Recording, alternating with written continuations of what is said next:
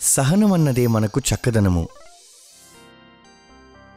మాణిక్యానికి ఒక చీరల దుకాణం ఉంది.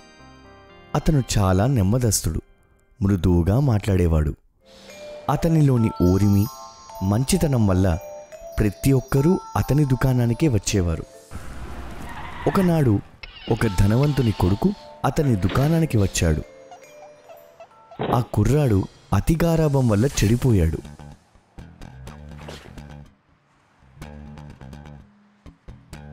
రాయ్ ముసలాడా ఈ చీరంతా.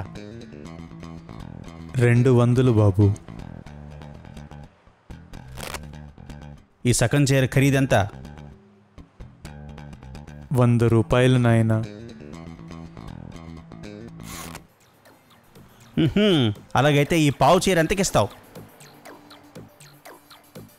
యాభై రూపాయలు.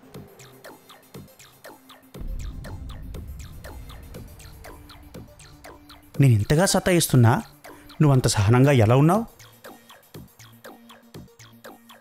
నువ్వు చింపిన చీర ఖరీదు రెండు వందల రూపాయలే.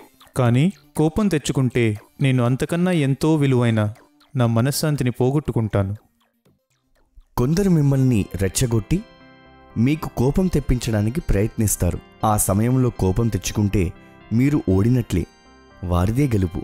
మీ మనశ్శాంతిని ఎవరూ కాజేయకుండా జాగ్రత్త పడండి.